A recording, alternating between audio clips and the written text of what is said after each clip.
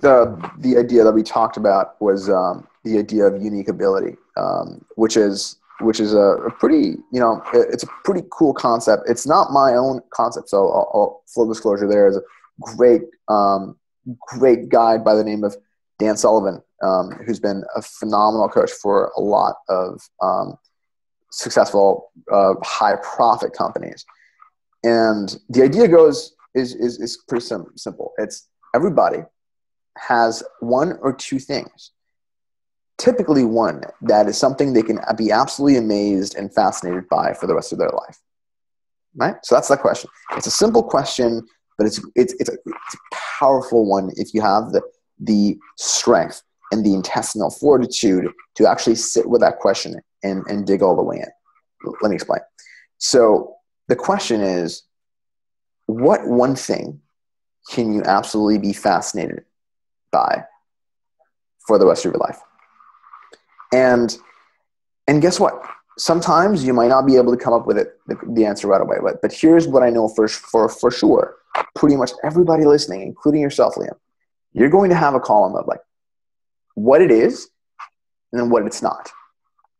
Right? And the easier column to fill, at least in the beginning, is going to be what it's not. And so once you start filling out that column, you'll start to feel the frustration leaving your body because like you're like, oh, that's definitely not what I want to do. That's definitely not what I want to do. That's definitely not what I want to do.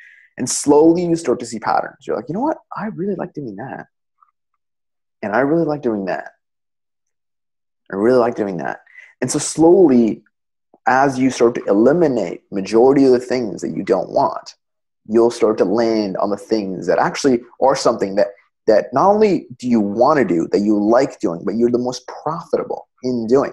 Typically, the things you're the best at are the things that, that can bring value to the economy if you work really well with other people. And that's the most important part.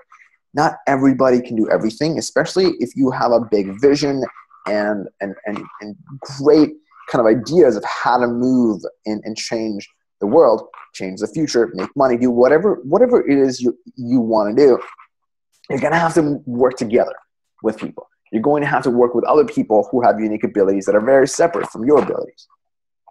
You have to like communicate and be able to join forces, knowing that even if what you want to create is you don't have all the skills to be able to do that, that's absolutely fine. The cool thing is, as long as you confront the truth, you can start to say, okay, well, we need more people and we need people who can do this and this and this. Well, I do this, so we can all do what we're really good at that's profitable and we can make a difference in the world.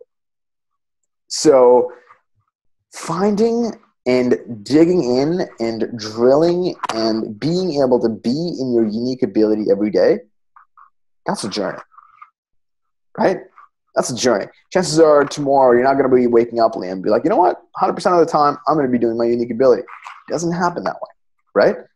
A lot of the time people don't even know what their, their unique ability is. They have some kind of idea, like a hazy idea, and that's very common. It's very normal. But, but true meaning, purpose, drive, those things happen when you choose to spend time in the way that you want to spend them in the greatest kind of in the greatest service of the world right? Um, and meaningful work meaningful relationships these are extremely important things. And the greatest meaningful work is doing the thing that you enjoy the most that brings the most value to people